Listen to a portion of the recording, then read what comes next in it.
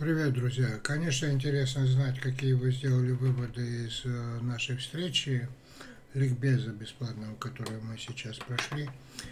Я вам сейчас хочу сказать одну вещь. Как важно помнить мой афоризм, мы не в головах э, живем друг у друга. Вот. Дело в чем. Э, дело в том, что мне там девушка задала вопрос, я после ковида, и я вот сейчас рисовать начала, и вроде у меня настроение хорошее, а рисую все черное. Это о чем говорит?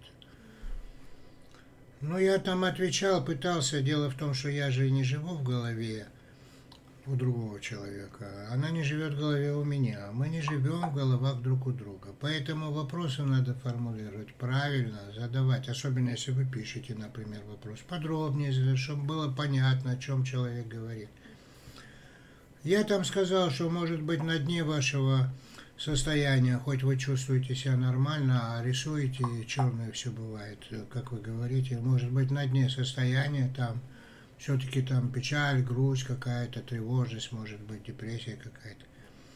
А тут я подумал, а может она вот и не сказала о том, что она первый раз в жизни рисует, может быть. Может быть, она не знает, как краски смешивать. Если, может, человек не знает, что надо каждый раз, чтобы чисточка, кисточка чистая была.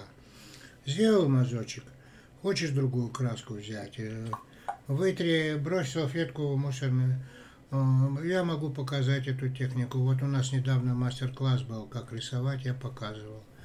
Кисточка должна быть чистая. А вдруг у нее, я же не знаю, мы же не живем в головах друг у друга. Вдруг у нее первый раз в жизни она пыталась рисовать. Она там мне еще сказала на ликбезе, или где-то она написала мне в Инстаграме, вот сейчас я видел, может это она, может нет, э, что я, как вы, говорит, рассказывали, рисовала и думала, о чем думается. То есть пустила мысли на самотек и рисовала, как получается, а получилось все черное. Хотя у меня состояние нормальное. Это у меня плохое состояние или как? Вот в том-то все и дело.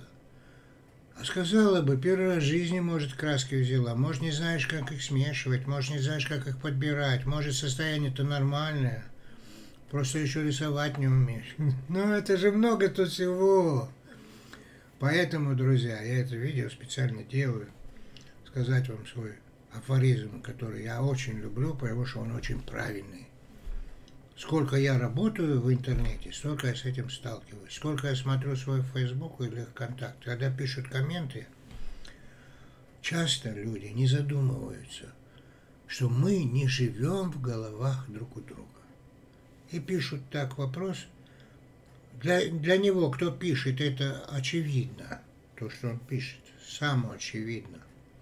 А для читающего или слушающего этот вопрос, это не самоочевидно, а уже мы не живем в головах друг у друга. Поэтому научитесь правильно задавать вопросы. Представляйте себе в этот момент, что человек не живет у вас в голове и не, и не видит вещи ваши, вашими глазами, и не слышит вашими ушами. И поэтому обычно диалог всегда происходит. Человеку кажется, что он говорит с кем-то, на самом деле говорит сам собой. Поэтому все ошибки общения происходят. До встречи, друзья.